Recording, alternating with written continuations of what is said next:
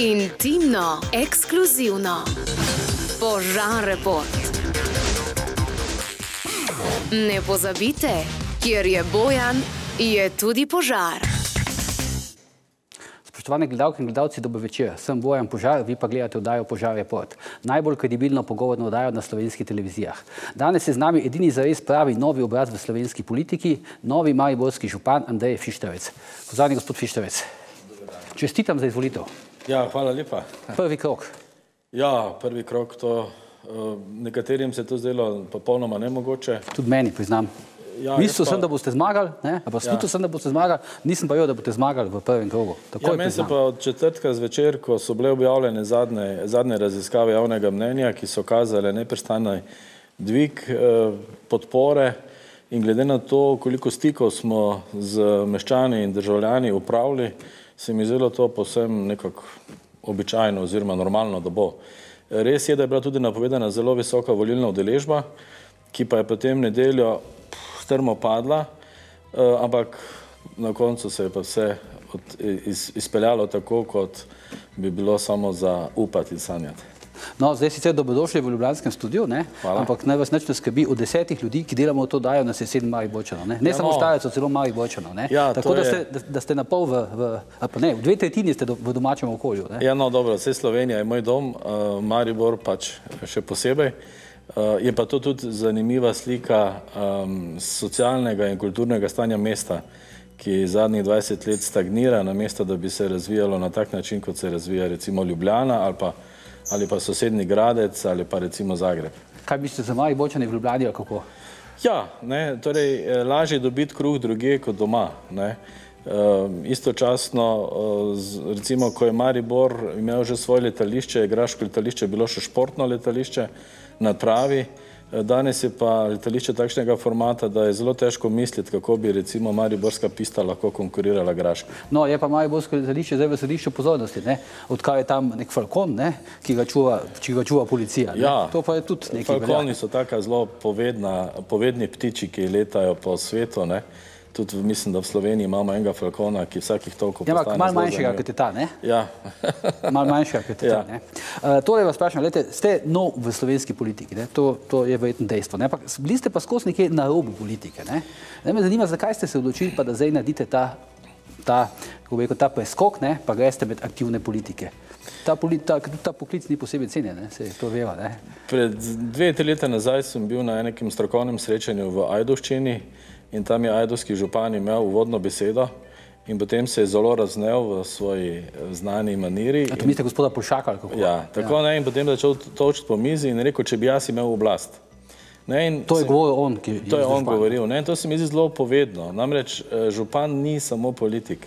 Župan je na nek način prvi občan ali pa prvi meščan eh, mesta ali občine ali kraja. Tako da jaz gledam na zadevo najprej iz tega zornega kota, potem pa iz tega recimo, recimo političnega zornega Čeprav gospod Fišter v županu, v funkciji župana, Ja. ne, je združena izjemna moč ne, in na nek način predstavniška ne, in na nek način izvršilna. Ne, ne. Ja, pa še, drži. kot veste, ne, ste izjemno dobro zaščiteni. Praktično vas je ne mogoče zamenjati, razen če ne gre 20 tisoč ljudi na cesto, drugače vas ni mogoče Ne, zamenjati. zdaj tudi v okviru moje kampanje, pa že malo pred njo, smo začeli zbirati podpise za spremembo zakona o lokalni samoupravi.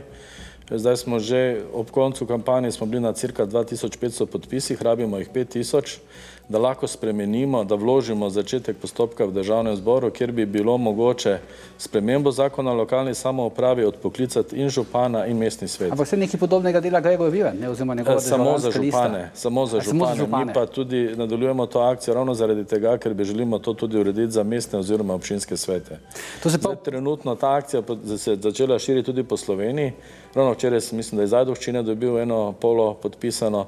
Um, kolegi iz 29. oktobra, ena od tajniških skupin, tudi to delajo sedaj po svoji, po, svojih, po svoji liniji, pa tudi sam bom nadaljeval zbiranjem podpisov, ko bomo uredili vse te zadeve v zvezi z um, dejanskim začetkom mojega dela v mestni hiši. Ampak to se pravi, kaj, Marjan, župan Marjan Pošak vas je spravil v politiko. Kako? Ne, ne, ne, ne. ne. Mislim, ja, tukaj so nekje končala. Ne? Ja, ja, ampak končala smo na ta način, ne, da je on samega sebe ni doživljal kot politika, Ne, in je rekel, če bi jaz imel oblast, ne, pa je župan. Ne, torej, In še poslanec je bil prej, ne? Ja, in se zaveda nekak teh svojih eh, omejenih možnosti.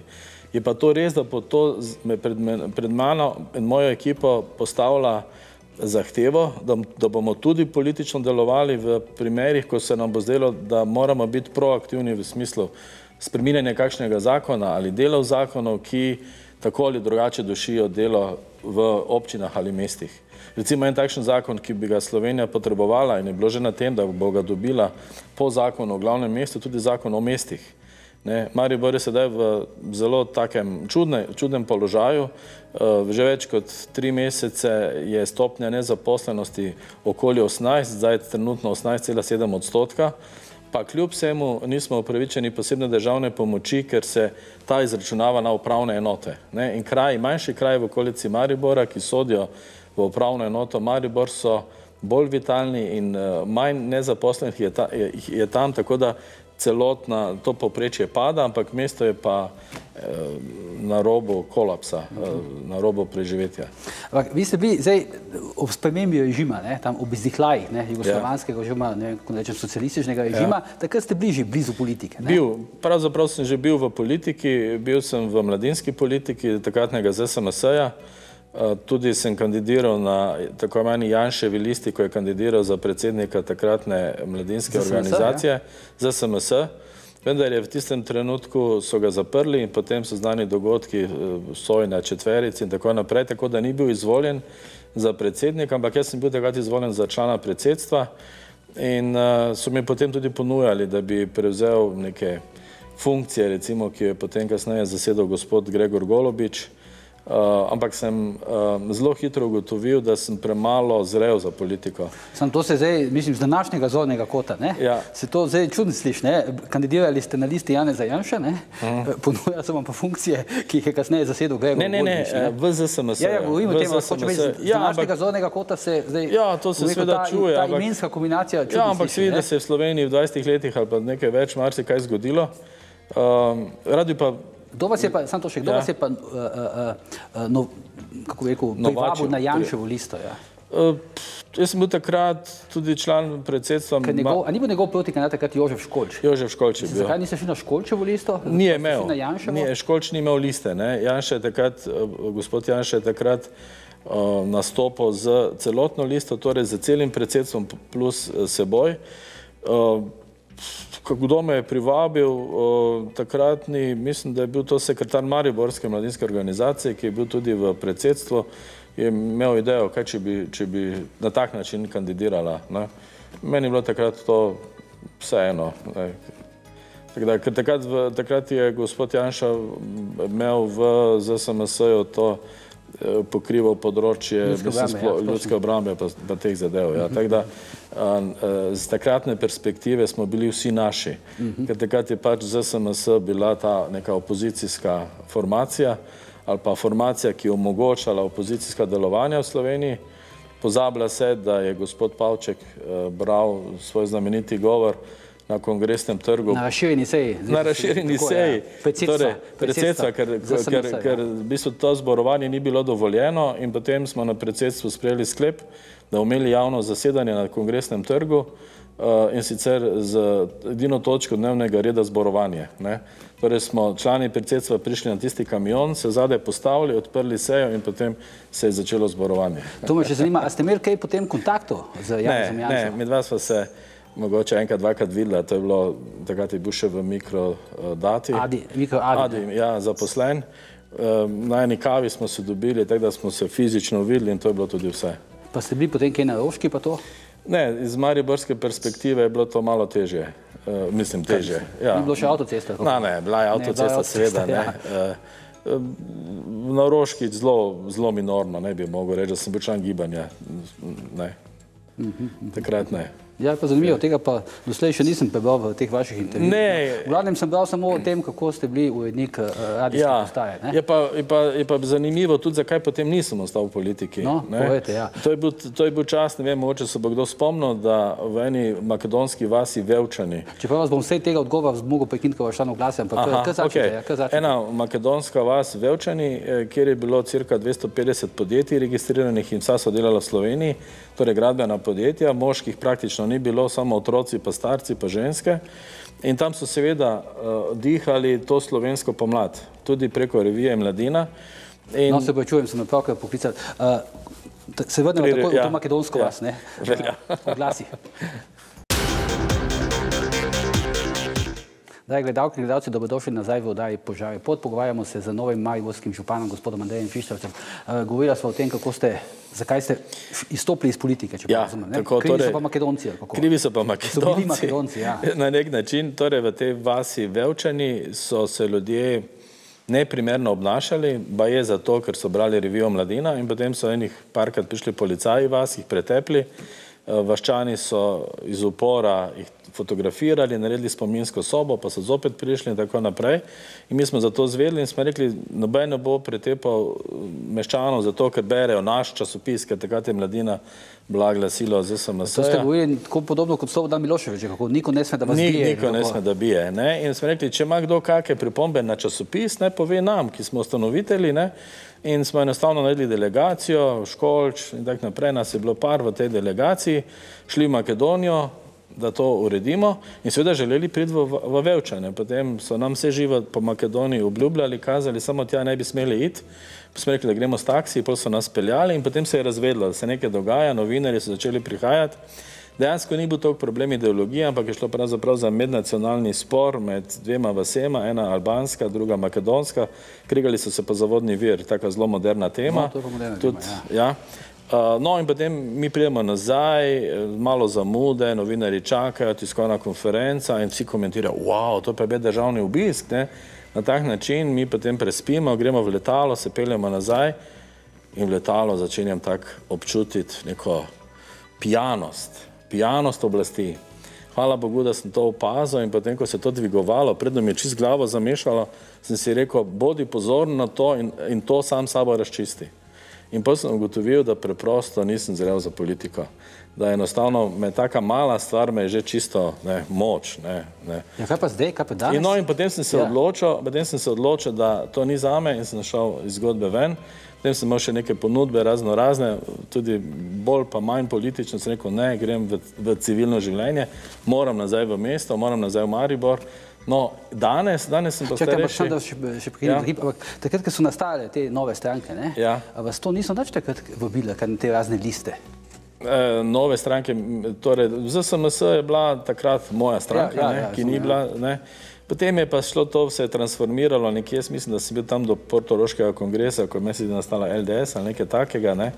Eh, Pisali smo še en, eh, en pamflet politično, oziroma knjigo Boj za oblast, se je rekla, ki je eh, zelo zanimivo. Najprej je bilo ZSMS liberalna stranka. Ne? Ja, nekaj, nekaj takega. No, tam, tam se je potem moja zgodba končala, ampak je pa zelo zanimivo iz te zgodovinske fenomenologije, ne, da je ta knjiga praktično 20 let bila prezrta. Ker smo takratni, recimo Tomaš Masnak, eh, jaz, Dragica Korade, Pušen, Jako Cvirk, eh, smo spisali in v Mariboru objavili, ker v Ljubljani ni bilo možno, ker je mladinska organizacija bila tako zelo procekajovska tukaj eh, v Ljubljani, izdali razmišljanja o boju za, torej boj za oblast, torej razmišljanja o prihodni novi politični ureditvi Slovenije.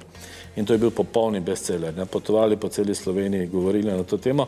In je zelo interesantno, kljub temu, da je to materialni dokaz, je praktično bil čisto spregledan v evalvacijah tega prehoda iz uh, totalitarizma kot v demokracijo. Ne? Zdaj ste imeli eh, Dragico Korade, ne, Ja. novinarko večera. Ne. Da. Zdaj mi je veliko politikov, mariborskih politikov mi je rekel, da je, da, je, da, je, da je napisala izjemno osladen portret v, v sobotni prilogi večera. To res drži, jaz ga nisem prebral, ne vem, vaše mnenje. No.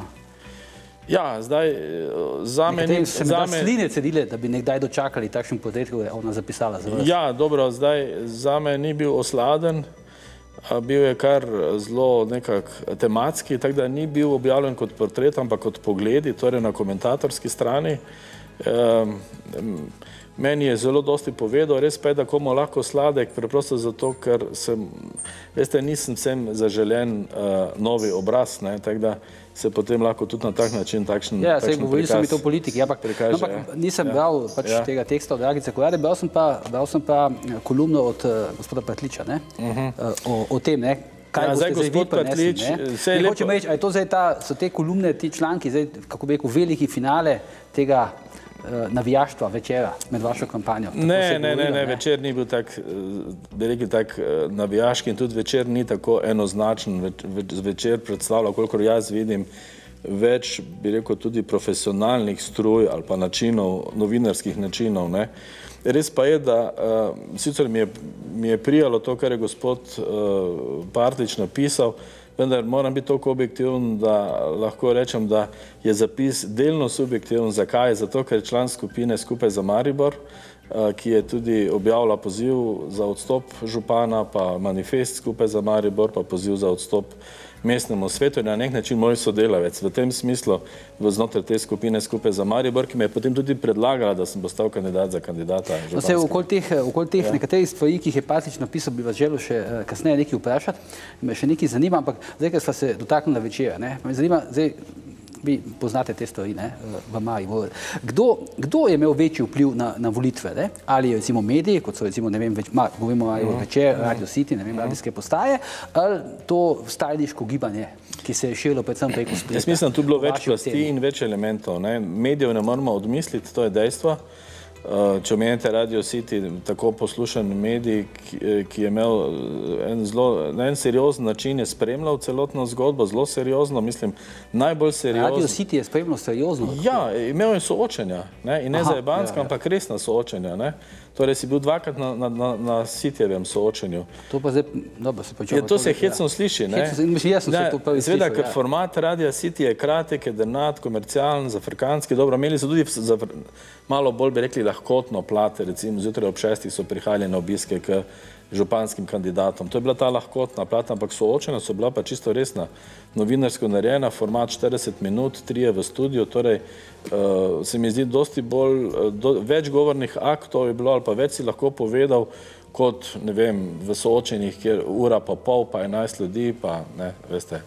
Ne, tako, tako da uh, moram, je situacija ni čisto tako črno-bela, torej City ni samo, bi rekli, uh, nek komercialni medij, ki skuša zelo na preprost način, ne vem, dostopati do ljudi. Ne. Um, in so imeli tudi zanimivo formo, recimo tri, eh, zbrali so poslušalce, ki so med soočenjem komentirali, kako vidijo soočenje. Se mi zdi tako zelo medijsko interesantno in uh, Če pa vam reče, zdaj tukaj, ja. kako bi rekel, z, iz Ljubljanskega pogleda Ja, na Maribor, ja. ja. Pa ni bilo nekak čutiti neke blazne, kako bi rekel, nekega blaznega predvolilnega vzdušja. Ne? Pa ne, se veste, za neko posebno vzdušje narejeno, o, torej preko džambotov, pa tega niti ni, niso razmere temu primerne. Razen tega je dosti kandidatov, več kot polovica kandidatov šlo zaradi lepšega v kampanjo, kar so potem rezultati Ampak ti pokazali. zdaj, koliko jaz pač poznam Maribor, pa te Ja. mariborske stalne Ja. kandidate, Ja. nekaj pač takšnih. Ne? Dobro, nekaj, nekaj pač, takšnih, kar se tudi potem človek, ne? človek sprašuje, zakaj je takšna folklora potrebna. V Ameriki se nekaj podobnega dogaja, ampak se potem na neki, na neki ravni Tukaj odreže. selekcija, in, ja, ja, in ja. jaz mislim, da, da, da bi o tem tudi veljalo na nek način razmišljati, ker re- recimo samo pet nas je imelo resno namero kandidiranja, ker nas pet se tudi prijavilo, da, da smo pridobili prosta plakaterska mesta ne, eh, City Lighte pa Jumbote pa to, kar je bilo prostega oziroma kar je, bi rekli, demokracija, torej mestna občina podarila. Ne. Ostali sploh ne, ne. tako da že iz tega svi, da niso imeli nekega um, toliko energije ali pa moči, da bi se tega resno lotili. Gospod Fiščar, je tole, da vas vprašam, no, um, zdaj vi pripadate tam nekemu krogu, ne? Kako bi rekel, politično-intelektualnemu krogu, recimo vi, pa gospa uh, Vesna Vugodina, pa, pa, pa, pa Boris Vezjak, pa Tone, pa, pa, pa gospod Partič, tako da je pač nek krog. Ne? Zdaj mi povejte, zakaj se je ta krog, oziroma pač, če lahko tako rečem, ne, mogoče malo naivno, zakaj se je ta krog odločil, da bo ravno vas osebno izpostavil kot, zakaj nekdo drug, zakaj ne Ja. recimo Vesna Godina? Ja, zdaj ta krok je zelo heterogen. Ne. Maribor je, hvala Ampak Bogu, drži, drži pa, da je to vaš krog, ne? Pa ne, mi smo, mi smo skupina intelektualcev, eh, ki smo se zbrali in vsak je po svoje aktiven, intelektualcev in kulturnikov, ne, vsak je po svoje eh, po svoje aktivni in smo in na neki točki smo rekli, ne moramo več, moramo skupaj nastopiti in povedati, kaj si mislimo o mestu. Kaj si jaz mislim o mestu, govorim že pet let, recimo v kolumnah, v pogledih ali pa sedem, sedem sezon državnega družboslovja skupaj z Vesno Godina, ne, eh, kjer je praktično vsa ta eh, razmišljujoča slovenska elita na nek način prišla tukaj skozi in zadnjih pet let govorimo tako samo o tem, kar se imenuje kriza. Ne, ampak na neki točki je bila potrebna kolektivna akcija, ki se je potem prekrivala tudi z, rekli, z ljudsko vstajo, ki je, nastal, ki je nastal v, nastala v Mariboru. Uh, tako da bi težko rekel, da je to neka enovita skupina. Mi smo, uh, mi, to ja, jaz razumem, ja. ampak vi ste zdaj prišli v Za, ja, kako kandidat, je do tega ne? prišlo? Ja. Viš, a je to mogoče zaradi tega, ker ste, ko bi rekel, najmanj umazani s politiko? Ne? Vesna Bogodna je zelo razupita. Ne? Vezjak spada tam v skupino za res LDS, Patlič je že kandidiral za župana, ja. bil je LDS in tako dalje. Ne, veste, kak najmanj, po... kako bi rekel, ne? Ja, tako, ja, veste, kak je neposredno to... zapacani, ne? To, tega, tega, ta premijer, bom lahko bom povedal, kako je ta stvar potekala. Ne? Torej, mi smo eh, v začetku decembra pozvali župana, da odstopi. A takrat vi še niste bili sigurni, da boste vi kandidirali? Ne, ne, ne, ne, ne, ne, da odstopi in potem, ko se zgodi ta akt, da odstopi, smo rekli, zdaj pa potrebno korak naprej. Ne? In prvi korak se nam je zdaj programski, napišemo manifest skupaj za Maribor, kjer napišemo neke ideje, ki bi lahko mesto peljale naprej. Eh, istočasno nam je pa bilo jasno, da če župan odstopi, da bojo volitve. Ne? Da če bo župan v resnici odstopil, nismo bili pripričani do prvega prvega, ko se je to v resnici zgodilo, ker veste, no, kako je Slovenija. Pa smo ja vedeli, da bo odstopil takrat decembra že. Ne, ne, ne. ne. On je napovedal, da bo prvega prvega odstopil. Ja, vem pa, to ste mislili, da ne bo, kako? Ja, veste kaj, vse eh, veste, kaj je za Sloveniji, malo se ja, zamrzneš, ja. pa odmrzneš, pa ja, ono, pa tretje, ja, pa tak, ne. Ja, tak, ja dokler se ni zgodilo, veste, ne morate biti gotovi. Aha, ne? nisem si mislil, jaz ja, ja, mislil, ja. da bo stopil. No, okay. ampak, ne, ampak dobro, spisali smo manifest, na ta način smo dali signal tudi drugim staniškim skupinam, da treba začeti razmišljati programsko o prihodnosti. Istočasno pa smo seveda bilo jasno, da ko bo do volitev prišlo, glede na to dinamiko upora prej slej, uh, je treba tudi imeti kandidate. Ne? Tako da smo eno širšo listo, enih sedem, osem kandidatov izoblikovali, na kateri sem bil tudi jaz, tudi je bila Vesna. Takoj na vrhu. Ne, ne, ne, to je ja, bila. To se je ja. ja. Ne, ne, ne, to je bila lista, ne, in potem je naša ideja bila, da če sledimo logiki vstaj v Mariboru, da predlagamo preko povezovalnega odbora, ki je, ki je bil ves med, bi rekli, administratorji uh, Facebook skupine Franz Kagler Neocopi kot župan Maribora, ki je bilo virtualno okolje tega socialnega revolta, ki se je v Mariboru zgodil, torej da jim predlagamo, da glede na to, da je to bilo ozadje vstaje, da bi eh, Facebook skupina pozvala tudi druge vstajniške skupine in državljane, da predlagajo svoje kandidate. In potem smo si zamišljali tako, da bi to neke vrste glasovanje potekalo 14 dni, 3 tedne in da bi se skozi to izkristaliziral nekdo, ki bi bil skupni kandidat. Facebook skupina to najprej, oziroma administratori so to najprej sprejeli. Ja, čakajte zdaj, samo ja? sekundo, no, govorimo ja? o administratorjih, no. Ja? Povejte, ste vi vedeli, kdo so ti ljudje? Ne, ne. Niste vi to, ne. kako bi rekel, imeli te stvari pod kontrolo? Ne, zdaj se marsikaj govorilo, veste, da to se še vedno govori, Razumem, kdo bi bil. Sprašujem, govori ampak... se tudi o vas, ne, da ste vodili mojo uh, PR kampanjo. Ja, to sem slišal zdaj, ja, ja, ja povedal, kaj dodaja. Tako da govorice, govorice dosti nisem, nisem poznal, nisem bil tako blizu, ampak smo komunicirali preko gospoda Vezjaka, ki je bil in Vesne Godina, ki sta bila izvoljena strani uporabnikov te strani v, ta, v povezovalni odbor, torej odbor, ki je bil med anonimnostjo in javnostjo. Ne? In torej ta administratori so najprej se s tem strinjali, potem so pogotovili, da je bila stvar preveč politična in da, da to morda ne bi bilo v interesu strani, ker so ljudje zelo različnih bi rekli, političnih usmeritev in so potem predlagali, da bi, da bi glasovanje izpeljali šele potem, ko bi se kandidature vložile in bi pač ocenili, da ti kandidati bi lahko. Skratka, nekako... se je, so bile neke kalkulacije, ne? Ne kalkulacije, ampak iskanje rešitve. Ne? In kot rečeno, potem je bila, je bila ta solucija, potem smo rekli, ok, predno bojo kandidature zbrane, moramo pa vse na ravni koordinacije stajniških skupin priti do nekega skupnega kandidata. In to je trajalo, to je trajalo, da na koncu, da, da smo skoraj, da na koncu, da se je izkazalo, da samo dve skupine od petih razmišljata o tem, da bi nekoga kandidirale in, in, in skozi ta proces, ko je potem že gospod Jesenek zbiral podpise, pa gospod Kokol v bistvu tudi že zbiral podpise, eh, ko tudi gospod uh, Lorenčič napovedal, da bo zbiral podpise, uh, ampak nihče od teh pra, ni bil član koordinacije in teh skupin, uh, smo potem nekako prišli do tega, da sem na koncu ostal jaz edini potencijalni kandidat. Gospa Vesna je bila, uh, Godina je bila uh, v bistvu dolgo časa županska kandidatka v, na tej ravni, ampak je potem so se hudi pritiski na njo izvajali in je potem se iz Kakšni- osebnih pritiski govorite? Ja, grožnje, grozilna pisma in tako naprej. Ne, in se ni želela iti te igre. Ja. Ne. Kje ste se pa, kje ste se pa dobivala ta vaša skupina? Je to kaj imelo, kako bi rekel, takšen preokus, ne vem, Ne. tajnega sestajanja? Ne, ne, ne, ne, ne, ne, ne. Skupaj za Maribor se je dobival v kavarni Piramida, enega hotela Mariborskega Piramida. Ja, ne, poznam, seveda. Ja, ne, tam je bilo zelo prijetno. tam, mislim, so vas častili kako? Ne, ne, ne. Bilo- Ne, ne, kaj nismo bili povezano z nismo bili še tako popularni. Ne. Mislim, da so Rusi, na- Lu, Rusi so lastniki, ne? Rusi so zdaj lastniki Term. To ni bilo povezano Ja. s tem, kako? Ne, ne, ne, ne, ni bilo povezano s tem, ampak tam je v Pa ne, stoji, ne stoji za vami ruski kapital, kako? Ne, čujem, da stojijo tudi neki, neki veliki kapitalisti, tako da smo se tega zelo razveselili v štabu, ko smo to ugotovili, ker smo začeli malo planirati, kakšne dopuste na Baliju, pa Dominikanska republika, pa tako, ampak tega, tega ni bilo. Ne, tako da. No, če bi bili, zdaj boste mogli pol, kako se bo tega delati, ne hoditi dopuste, pa Ja, ampak štab, štab bi lahko šel na dopust, ne, jaz bom pa že kdaj švignil, ja. ne, Glejte, a vsakim falkonom, kam, ne. Še nekaj razčistiva. No, zdaj ti očitki, ne, da za vami stoji neki stojiči zadja, okay, Ja. ampak da za vami stoji za res. No, ampak mm -hmm. zdaj tukaj neki materialni dokaz za to je. Ne, tale vaš, eh, kako bi rekel, vodja kabineta, ali svetovalec v kampanji Marko Žula. Ne, on v bistvu je nek. Eh, On je bil, On je, ampak- on je bil član Zaresa, tudi je bil aktiven član Zaresa slišal, da, čas. da, ga, da so ga menda za potrebe vaše kampanje tik pred volitvam nekje v zaresu na hitro razrešili nekih funkcij. A ja, a ja, no, valjda, valjda, ko je potem, um, ko je za- začel delati v kampanji, to mora sam pri sebi razčistiti, ne? Na kak, ka, kakšen bo zdaj njegov odnos ali pri meni ali eh, v stranki. In glede na to, da v stranki ni bil več aktiven, se je pač v stranki razrešil. Eh, Bil pa je svoj čas eh, tudi delno zaposlen v stranki.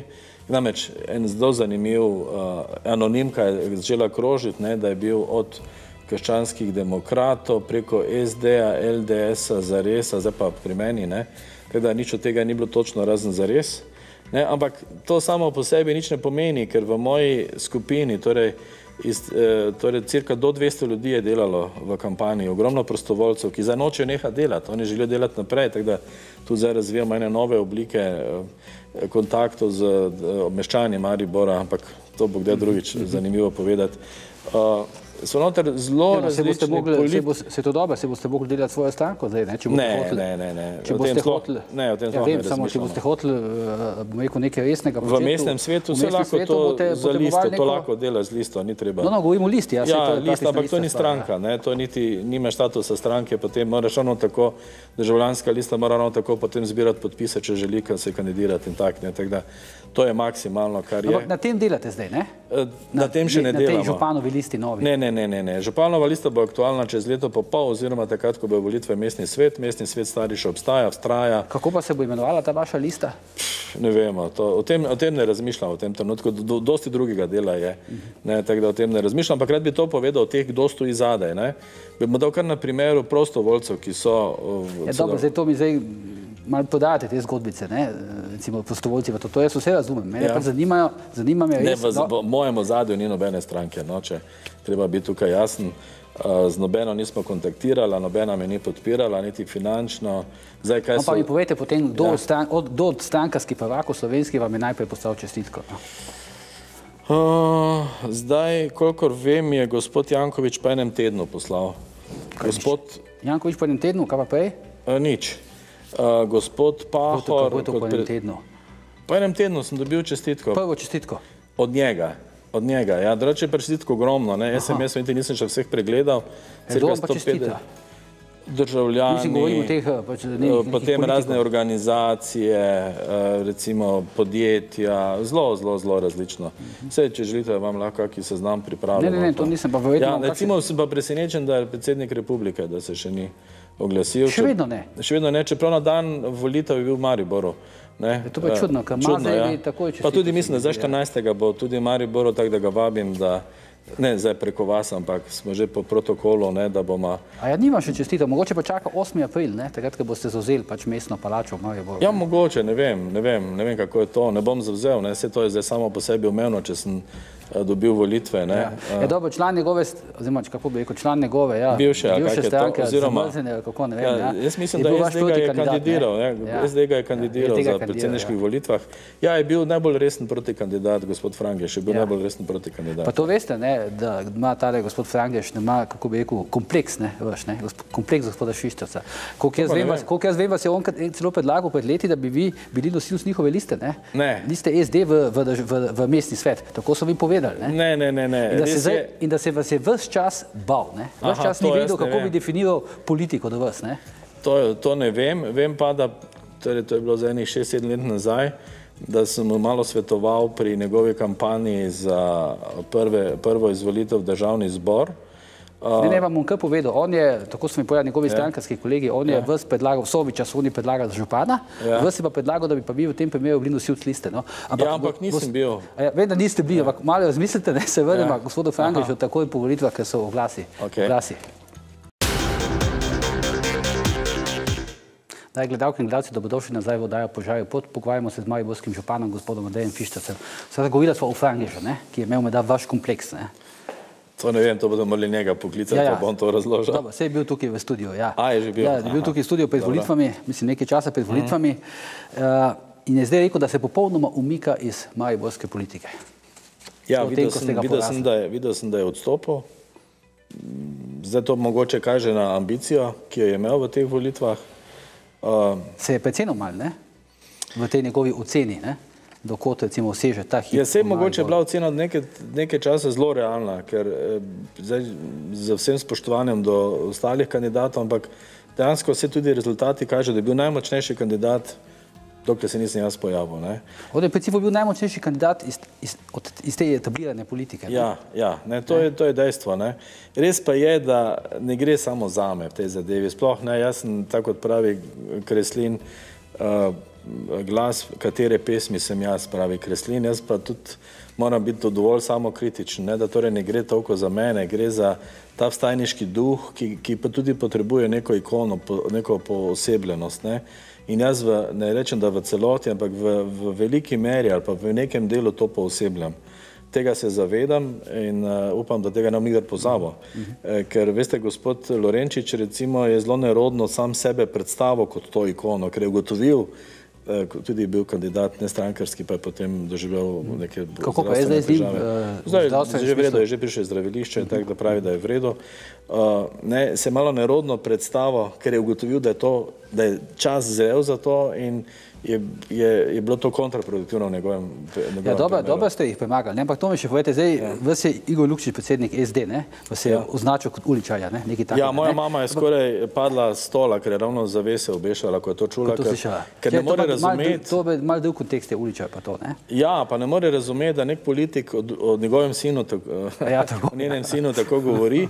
Še posebej, ker sem bil, kaj je to zdaj, nek, ko je bil še SD v opoziciji, na željo, na željo mladega foruma SD, eh, svetovalec eh, gospoda Pahorja za šolstvo.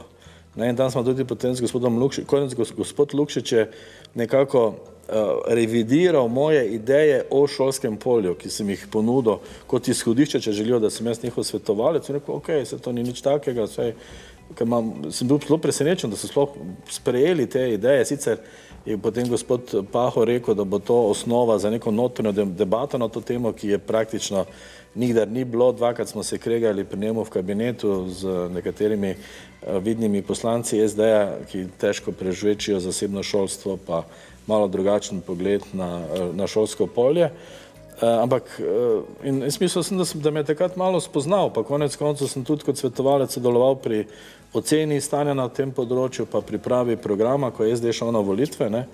Uh, pred zadnje, kot nestrankarski uh, kandidat oziroma nestrankarski človek, in me je potem taka, tako govorenje res presenetilo, ne, ker je nekako skregano ne samo z, z mano, ampak skregano z realnostjo. Ne? Ker Mariboru se ni dogajala ulica, Mariboru se je dogajalo aktivno državljanstvo.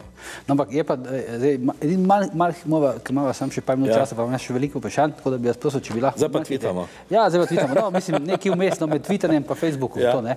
Lejte, to bi eh, vas še vprašal, ne. Podprl vas je Drago Cota, ne. Da. Predsednik uprave zavarovalnice Maribor, ne, in predsednik nogometnega kluba Maribor, ne. Ampak to je bilo menda pomembno, ne, v tem Seveda je kontekstu, bilo no. pomembno. Ampak, kljub- Ampak zadnjič pa se je pa neka novinarka na televiziji vprašala, če bi lahko, na- novinar, ne, če bi lahko naštel uh, nekaj nogometašov Maribora. Ja. Ne. Pa mislim, da ste znali sam štiri povedati. Ne, ne, ne, rekli so mi naj 13 štejem. Ja, 30, ampak vi ste povedali sam štiri, pa pa ste rekli nekako, da je to dost, ne? Ja, ne, ker rekli so mi tri, Ampak eh, se mi zdi, da pa- bilo, bilo pa je treba tvitati. Ja, to Se mi pa res. zdi, da bi pa Frangeš povedal jih 11, ne?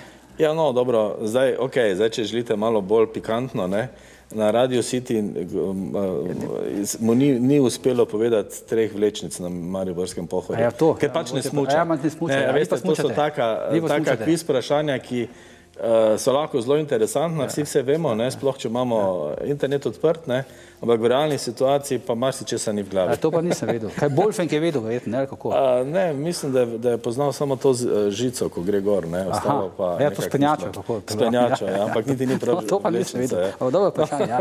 Kako, ka, kako zdaj vi komunicirate z Kanglerjem? Oziroma, ali sploh komunicirate Mi dva, mi dva se osebno ne poznava.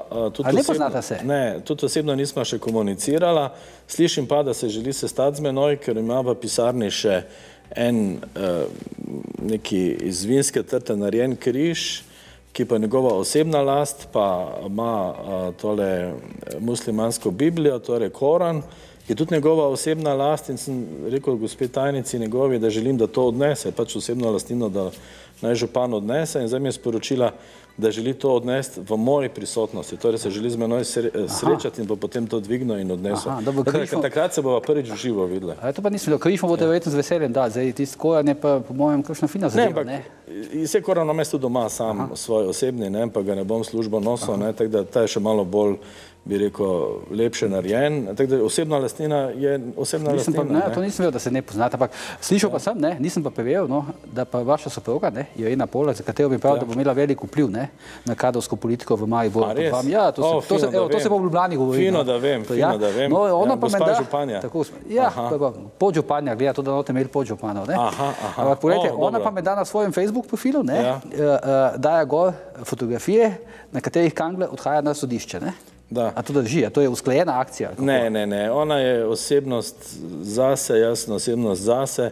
Uh, zna biti ona zelo vročekrvna, ne, tako da včasih jo je treba tudi na Facebooku malo umiriti, ne, ampak eh, nimam toliko časa, da bi skozi stal za njo. Uh, je pa tako, da ona dva pa imata neko zgodbo v tem smislu, da Aha, to je zdaj to, ja. Ona ja. dva pa imata zgodba v tem smislu, ker ona se ukvarja tudi z javnim nastopanjem in napovedovanjem in uh, praktično, uh, kjer je gospod Kangler imel vpliv, tam ona ne sme javno Ja, dobro, nastopati. tam so tile Kanglerjevi novinarji delali, kako ne? Tudi, ja. Tudi, ja, tudi, ja, tudi, ja. Uh, revizijo ste napovedali, Da. ob, dela občine. A to pomeni, kaj, da zasledujete neke nove ovadbe zoper Kanglerja? ali Kako? Da ne, jaz moram imeti čisto situacijo, sliko, ne. Zdaj slika tudi kljub Zdaj, temu, da je toliko teh... ko ima zdaj 12 vat, ne, zdaj kakšna Se ne vem, koliko jih je, koristila, ne, 12, jaz mislim, da je 10. Mislim, ja, no, Aha, tu, no, tu nekje, ne. Uh, jaz, uh, moramo imeti čisto sliko, ne, slika, slika ni čista, recimo, da, uh, včeraj sem zvedel, da je Iskra prekinila pogodbo že 11. marca, ne, mislim, Govorite to- o radarjih, ne? Mislim, ja, ja. o radarjih. Ampak se to vam ustreza, ne? Da, Ja, ja. ja, no, dobro, moramo zdaj mene proti, proti ukrepe v tem. v Mislim, zvezi ustreza vam stališče Komisije za večanje Ja, to korupcije, pa ne, ki je to razglasilo Saj za... Ta je, ta je v bistvu to, kar smo mi skozi v predvolilni kampanji govorili, ne, da je pogodba tako v škodo uh, mestne občine narejena, da ne zdrži resne pravne presoje in da bo šlo po vsej verjetnosti v to, da bo eh, pogodba pravno nična in to zdaj tudi protikorupcijska Ampak komisija. ta potrjuje. revizija, no, kaj želite z njo? Z revizijo natančno videti prvič, natančno videti situacijo, drugič pa tudi razkriče marsikaj, kar je v tem trenutku še problematično. Ne? Ker kot vidite, je poslovanje na mestni občini bilo čisto delano kot to je moje podjetje, v njem delam, kar hočem, torej delam za svoj lastni žep, ne pa za javno dobro. Ste- In to, kar je prišlo ven, ni vse, sigurno ni vse.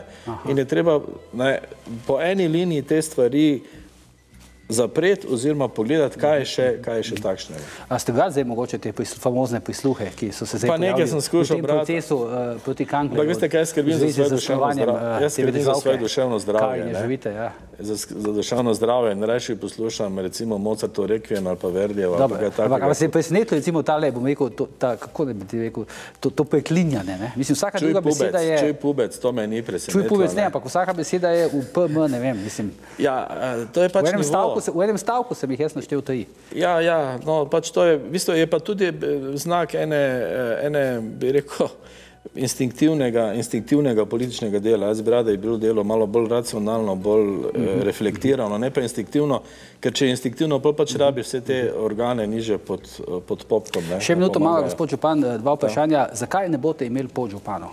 Eh, Uh, jaz morate po res na hitro povedati. Ja. Po zakonu um, sem obvezan imeti vsaj enega, eh, ker mislim, ki- lahko ga dobim samo iz mestnega sveta in če se bo le dalo, ne bom imel podžupana, ker mestnega sveta ne priznavam, da, da je legitimen.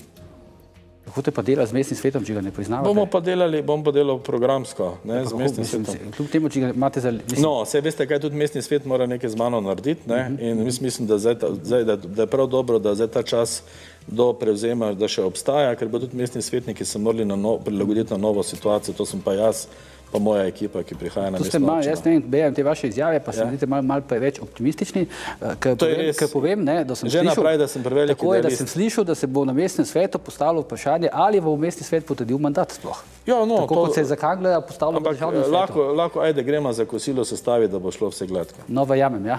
Uh, gospod Župan, hvala, da ste prišli v studio, vem, da imate veliko dela, ne? Ja, Upam, imam, se- res, imam že, čeprav še nisem prevzel funkcije, ampak je res dosti stvari. Želim vam veliko uspeha, pa upam, da se vidimo naslednjič. ne. Hvala lepa. Dragi gledalke in gledalci, to je bilo za danes vse. Vidimo se prihodnji teden v istem času in ne pozabite, kjer je bojanje tudi požar. Hvala. Hvala. Veliko vprašanj.